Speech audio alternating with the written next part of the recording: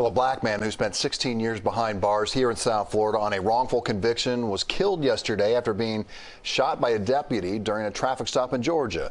This is the man identified as 53 year old Leonard Allen Cure. The Georgia Bureau of Investigation says the deputy shot Cure after he became violent and assaulted that deputy. Previously, Cure was convicted of armed robbery um, Dania Beach drugstore back in 2003. The Broward State Attorney's Office Conviction Review Unit also asked a judge to release Cure in 2020 after the team said they found solid alibis and no physical evidence to put him at that crime scene. That's according to the Associated Press. No word yet on why the deputy pulled Cure's vehicle over yesterday near the Georgia-Florida border and on I-95.